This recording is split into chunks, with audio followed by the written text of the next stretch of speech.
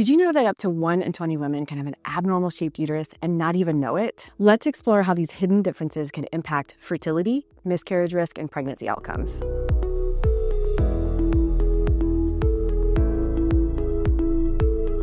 I'm Dr. Lora Shahine, a double board certified OBGYN and reproductive endocrinologist, helping people understand uterine anatomy for over 20 years. If this is your first time finding the channel, welcome. Be sure and subscribe so you get my weekly videos all about reproductive health. If you're coming back, welcome back. I'm so glad that you found this information valuable. There are two other ways I provide valuable information. Check out my weekly Brave and Curious podcast anywhere you listen to podcasts, and sign up for my weekly newsletter where you learn all about fertility in the news, educational content I have that week, and recommendations for certain products and books that I love. Today, we are doing a deep dive into uterine anomalies exactly what they are, how common they are, how to diagnose uterine anomalies, how to treat them, and I'll end this video with three very important questions to ask your doctor. Topic number one What are uterine anomalies? Uterine anomalies are different shapes of the uterus that you can be born with. They can have impact on your fertility, your miscarriage risk, your pregnancy outcomes, and you can have this from birth and not even know it. Let's learn a little bit about how uteruses are formed so that you can understand how these differences come about. As a fetus, the uterus has two halves that become one before birth, and any variation along this process can result in a uterine anomaly. When we see images of the uterus in an anatomy textbook or we're trying to learn online, we see an image like this. The uterine cavity and the uterus looks like an upside down triangle. That's just one variant of the uterus, and it's considered normal because that is what the majority of people are born with. But there are so many variations. Here's how I explain it to my patients in clinic or over Zoom just with my hands. When we are a fetus, there are two uteruses. There is a fallopian tube attached to each half of the uterus and ovaries at the end. But the uterus starts off as two. And as we develop it, as an embryo into a fetus in the body, the uterus, those two halves come together, and there's a kind of a septum or a dip down at the top that eventually goes away. And so it starts off as two, comes together, and this middle part eventually goes away through atresia. Now, there can be variations across any of that process. So, some people are actually born with two totally separate uteruses. That's uterine didelphys. Some people have a, sort of a heart shaped uterus where there's nice vascular tissue that kind of comes down, but it looks like uh, the outside of a heart. That's a bicornuate uterus. Some people just have this little fibrous band in the middle that never goes away. That's called a uterine septum. And there's a couple of other variations. But if you get that overall concept, if this process gets disrupted anywhere along the way, you can have a uterine anomaly. So, uterine anomalies can look like this on imaging, and you can have everything from two separate uteruses, uterine didelphys, one half of the uterine cavity develops while the other one doesn't. That's a unicornuate uterus. I have a whole video here on YouTube describing unicornuate uterus, how it happens, and its consequences. Check that out. This heart shaped uterus or bicornuate uterus, and then the septate uterus, where there's a fibrous band of tissue that comes down in the middle. It should have gone away before we were born, but it just stays there. And finally, an arcuate shaped uterus, where it's just a nice little kind of dip at the top of the uterine cavity, but it is not a fibrous band of tissue. The top of the uterus, it does not dip down like a heart shape. It's just called an arcuate uterus. One other type of uterine anomaly that's important to talk about is Mullerian agenesis. Mullerian agenesis, which is also called MRKH syndrome, that stands for Mayer Rokitansky Kuster Hauser syndrome. Try and say that really fast. This is a rare condition where a woman is formed without a uterus at all and even missing the upper part of the vagina. It's often diagnosed in adolescence where someone is expecting to get a period but never gets a period. All the other signs of puberty show up like breast development and hair growth, but they never get a period and you do anatomy testing and you find out that there is no uterus. In this situation, it's impossible to carry a pregnancy, but someone can still have a genetic child through IVF and using a gestational surrogate. In this video, we're really focusing on people that have a uterus and the different anomalies that can come along with having a uterus. Topic number two How common are uterine anomalies? Overall, it's estimated that about 4 to 6% of women have uterine anomalies. It's difficult to know for sure because sometimes people will not have symptoms of uterine anomalies. They even can deliver babies and have no issues with carrying a pregnancy or fertility issues. But unless they had done certain imaging, they might never know that they had a uterine anomaly. But again, our best estimate is about 4 to 6% of all women have a uterine anomaly. The incidence can be higher in specific groups. For example, women with infertility have about an 8% risk of having a uterine anomaly, and about 13% of women with recurrent miscarriage may find that they have a uterine anomaly. I have an extensive list of resources and references that I'm going to put in the description of this video so you can find the source for all of the facts that I am saying today. If you have a uterine anomaly, the subtype breakdown goes like this 39% of uterine anomalies will be a bicornuate uterus, 34% of anomalies will be a septate uterus, 11% of uterine anomalies are didelphys, so that's at two separate uterine horns, 7% of uterine anomalies are an arcuate uterus, and finally, the most unusual is the unicornuate uterus, and that's about 5% of all uterine anomalies. Now, Mullerian agenesis or MRKH syndrome is extremely rare, occurring in only 1 in 4,500 or 5,000 births. Topic number three How are uterine anomalies diagnosed? The gold standard for diagnosing uterine anomalies in the past was using surgical visualization. So, combining a laparoscopy, which is putting a camera in the belly button and seeing the uterus from above, with a hysteroscopy or a little camera up through the cervix and into the uterine cavity and looking in from the inside. Combining both the outer image as well as the internal image, as well as physical exam, historically, the gold standard for diagnosing a uterine anomaly and exactly what type you're dealing with was a surgical and visual diagnosis. So, combining laparoscopy and hysteroscopy as well as physical exam to get the exact diagnosis. Remember, laparoscopy is a, a surgery with a camera in the belly button to look at the uterus from above, and hysteroscopy is looking inside the uterine cavity with a little camera that goes up through the cervix and visually looking inside the uterus.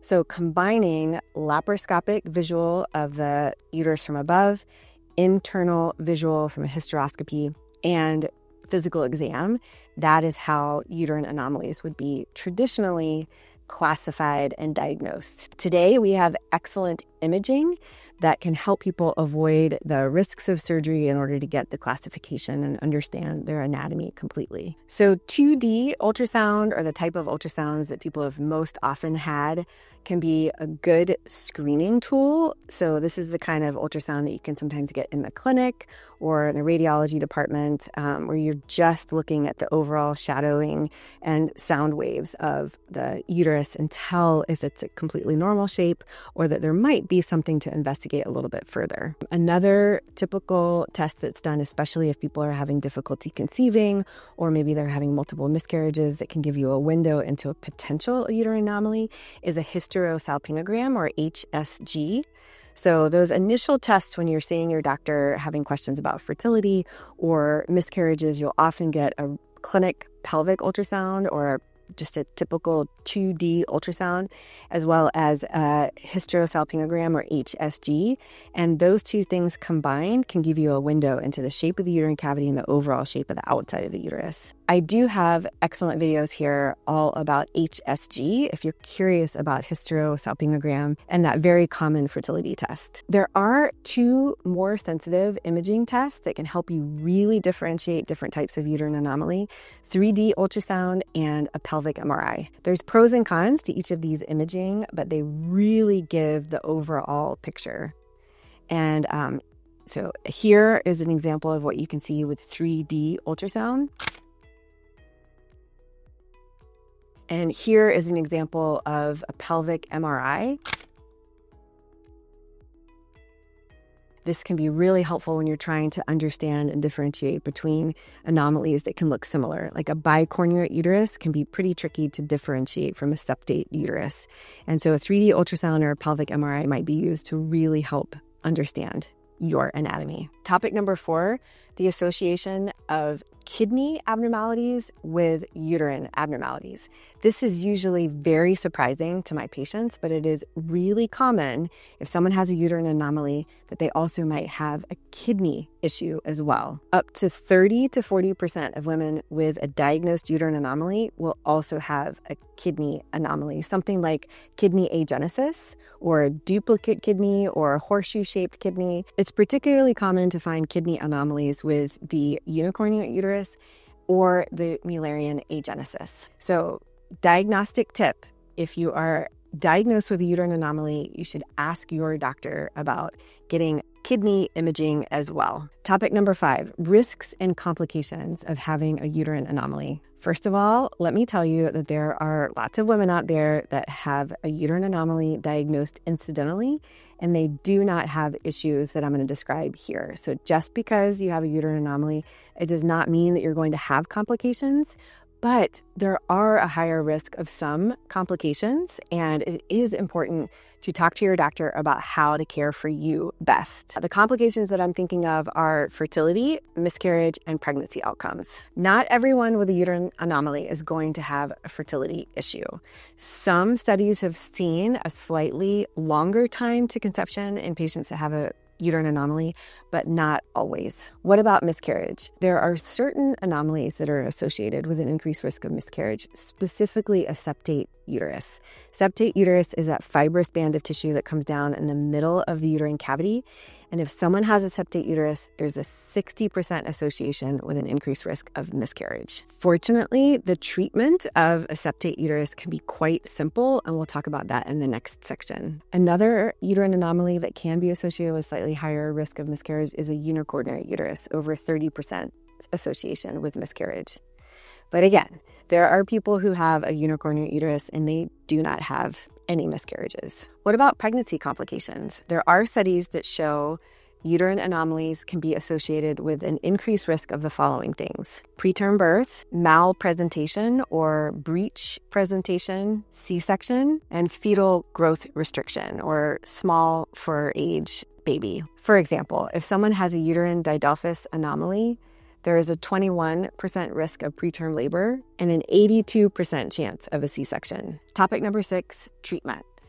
Big picture, the vast majority of uterine anomalies do not require surgery or intervention. There are certain cases that it can be really helpful. If someone presents with multiple miscarriages and they are found to have a septate uterus, removing that septum with a simple hysteroscopy can dramatically decrease the risk of a miscarriage in the future. Of course, there are many reasons that people can have miscarriages, but if this issue is found and that septum is removed with a relatively simple procedure, you can decrease the risk of a future miscarriage. Some unicornuate uterine anomalies are associated with an underdeveloped uterine horn. So remember, unicornuate, it's like one side of that uterus developed and the other one didn't. In some circumstances, that rudimentary horn has a little bit of the uterine lining that can build up and it has nowhere to go. So, this rudimentary horn, this little um, underdeveloped side of the uterus, can cause a lot of pain. So people will build up a lining it can't shed, build up a lining it can't shed. And so if someone's having symptoms and problems with this rudimentary horn, a laparoscopic removal can dramatically improve symptoms. Bicornuate uterine anomaly and uterine didelphys do not require surgical intervention. Mullerian agenesis Although fertility options for someone with Mullerian agenesis, they were born without a uterus, is IVF in order to get the eggs out of the body, create the embryos in the lab, and then transfer them to a gestational surrogate who'd be able to carry the pregnancy to term. But anyone with a uterine anomaly should have supportive care and clear guidelines for getting their questions answered and care throughout the pregnancy. Because if you have a uterine anomaly, it might be best to do more monitoring throughout the pregnancy, looking for fetal growth restriction, learning more about signs of potential preterm labor.